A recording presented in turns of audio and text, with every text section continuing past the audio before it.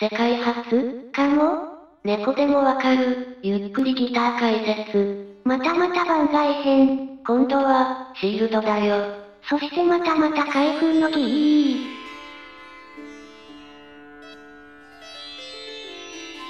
ねえ、マリサ？おう、なんだ？なんか、嫌な予感がするんだけど。予感も何も、もう、このおっさん。段ボール開けようとしてるところだがな。やっぱり、そうね。これで、開封の儀、連続3回目よ。おう、そうだな。今度は、一体何なの？何なの、と言っても、もうタイトルでバレてるが。今度は、シールドだぞ。ギターとアンプをつなぐやつね。そうだな。シールドでわざわざ開封の儀をやって、両つべにアップしてる人って、見たことないわよ。確かに。ま、おっさんのチャンネルだし、やりたいようにやらせれば、いいんじゃないか？それも、そうね。このマークは、配達してくれたのは、飛脚で有名な佐川急便さんみたいだけど、この、音符のマークは、そう、楽器販売業界のメガドンキホーテ、我らがサウンドハウスさんだな。激安の殿堂ね。そうだな。もうお分かりだと思うが、前回開封した、ニュー X マイティアさんを購入した時についたポイントを使って、買ったんだぜ。そうなのね。詳しくは、前回の番外編、ニュー X マイティアの開封の儀を、見てね。ズーム G6 の時みたいに、全額ポイントというわけにはいかなかったがな。そうなの？詳しくは、前々回の番外編、ズーム G6 を、見てね。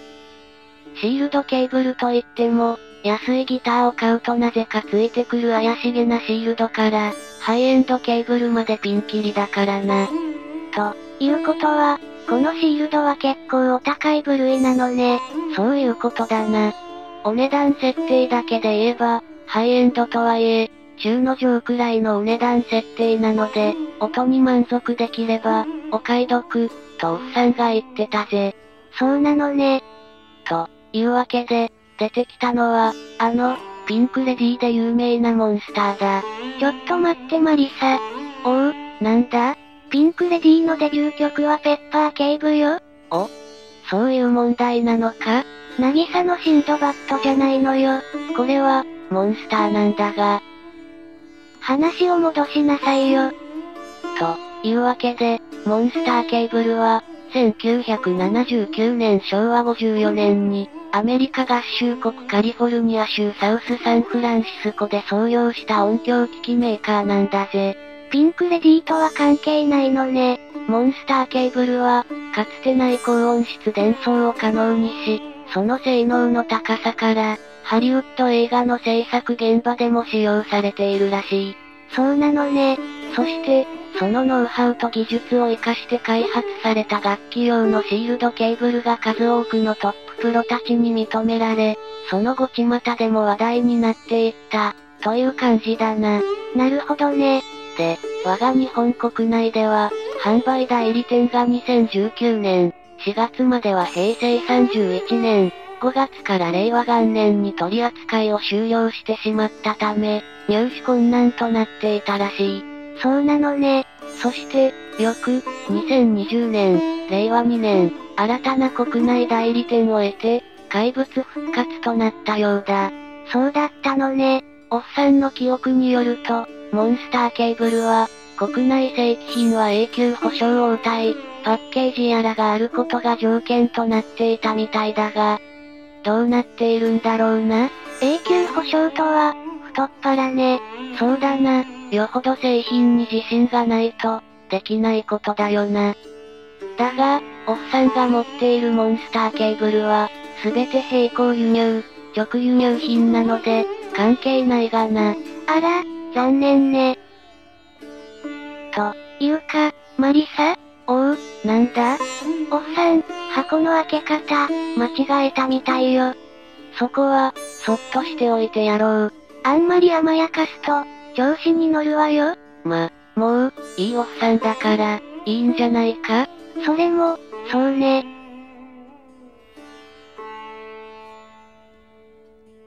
というわけで、出てきたな。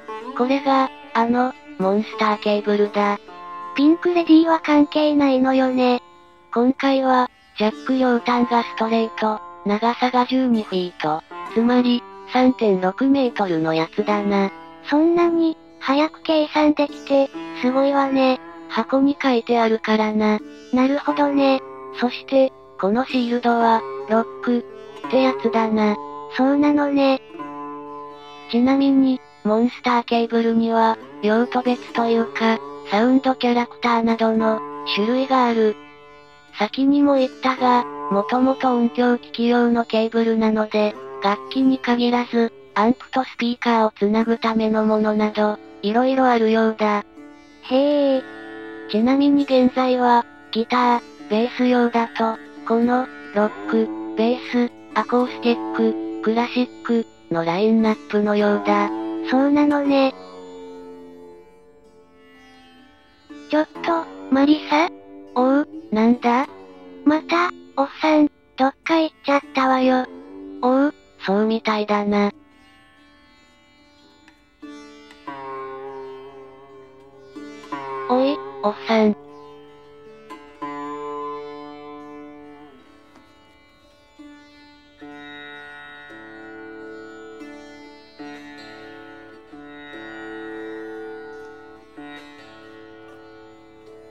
なかなか、帰ってこないな。お、影が動いてるぞ。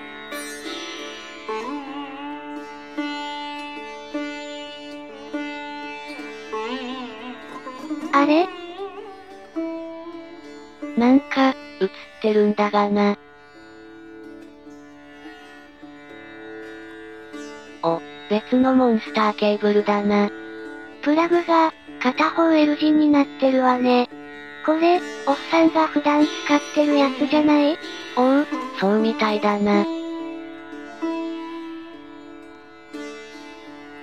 まだ、なんかやってるな。毎度毎度思うんだけど、おっさんも、あらかじめ用意しておけばいいと思うのよ。確かに。一体、何をやってるのかしら？もう一本、出てきたな。ねえ、マリサ？おう、なんだ？今、おっさんが映してるけど、プラグの形がだいぶ違うわよ。おう、そうだな。プラグの金メッキも、だいぶハゲてるな。このハゲ？新旧比較をしているのね。そうみたいだな。ちなみに、この古いやつは、二十数年前のものらしい。おっさんも、よく覚えていないみたいだが、当時のギター雑誌などで、スティーブ・ヴァイ師匠がこのシールドを使っているのを知り、買ったみたいだぜ。そうなのね。でも、魔理沙？おう、なんだ？おっさん、なんで今さら、新しいシールドを買ったの？それは、ポイントが溜まっていたからじゃないか？毎度毎度思うんだけど、なんか、それって、答えになってないわよ。おう、そうかちなみに、さっきの古い方のシールドは、ちょっと断線気味なのか、接触不良なのか、演奏中に音が途切れてしまうらしい。そうなのね。そして、せっかく買った、ズーム G6 を本格的に使ってみようと思って、買ったみたいだぞ。そうだったのね。それじゃ、そのうち、これらを使った、演奏動画がアップされるのね。そういうことだな。視聴者の皆様は、それまで待っていてくれるかしら？おっさんのために、二人でお願いするしかないかもな。あたしは、拒否するわ。なんでやん。特に理由はないわ。おっさん、かわいそうに。なあ、レイム？何？マリサ？次の動画で、キャラクター変更されて、出番がなくなったらどうするんだ？それは、困るわ。訴えてやるんだわ。素直に応援してやればいいのに。応援するわ。結局、そうなるんだな。というわけで、箱をしまい始めたな。しまい？なんか、エロいわね。最近、エロい話が少ないから、チャンネル登録者数が増えないのよ。一応、ギター関連のチャンネルだからな。なあ、レイム？何？マリサ？最近、ご無沙汰なのか？前にも言ったけど、あたしほにゃららよ。そうだったな。というわけで、そろそろ終わりそうだな。そんな感じがするわ。それでは、次の動画をお楽しみに。ご視聴、ありがとうございました。